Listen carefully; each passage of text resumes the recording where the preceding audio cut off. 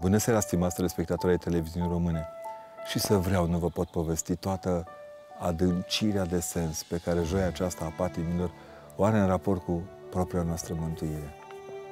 Las deoparte ideea că avem denia celor 12 evanghelii către care vă îndemn să mergeți pentru a asculta argumentarea teologică a tot ceea ce petrecem în săptămâna aceasta.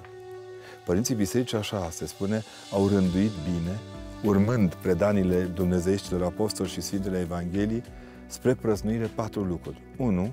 Sfânta spălarea picioarelor. 2. Cina cea de taină, adică încredințarea înficoșătorilor taine. Rugăciunea cea mai presus de fire. 3. Și vânzarea Domnului de către Iuda. 4. Patru episoade ale dragostei lui Dumnezeu pentru noi și ale neomeniei noastre în raport cu El. Un Dumnezeu care spală picioarele este chiar o surpriză.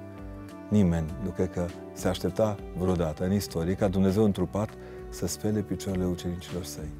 Nici Petru, grăbitul Petru, săltărețul în toate cele, aruncătorul în foc și în apă deopotrivă, care simte că prin această spălare a picioarelor Dumnezeu se umilește de plin înainte ochilor săi. Iar instituirea cinei cele de taină și prin aceasta a tainei dumnezeiești, liturghii și a Sfintei Euharistii, Minunată în plus să ne spună ce adâncă este ziua aceasta. În fond, Dumnezeu slujește prima liturghie, avându-l pe El în mâinile sale proprii. Mâncați, acesta este trupul meu, beți, acesta este sângele meu, înseamnă că Dumnezeu se frânge pe sine pentru iertarea lumii.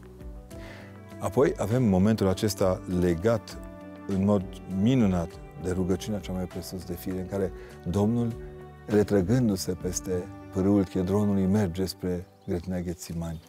O grădină care de atunci până în zilele noastre rămâne o grădină a suferinței și a împăcării pământului cu cerul. Rugăciunea Mântuitorului, rugămintea Lui, se împlinește abia pe cruce.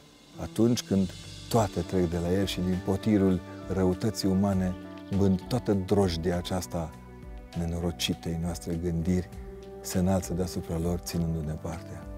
Sigur că este și joia în care Iuda își duce până la capăt sărutarea. Atenție când mai spuneți, vă pup, să nu primiți răspunsul de plin al uh, Mântuitorului către el. Prietene, ce ai de împlinit, împlinește. Gesturile și cuvintele trebuie măsurate întotdeauna mult mai adânc decât par la prima vedere. Iuda dispare din istorie, rămâne Euharistia și mai cu seamă dragostea lui Dumnezeu pentru noi, înspre împărăția lui Dumnezeu. Mâine este o nouă zi.